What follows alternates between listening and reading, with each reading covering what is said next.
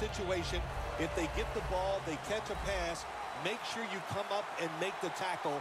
Don't let them catch and run and get a big play against you. Scans the field. Pass is intercepted. Tackle's made.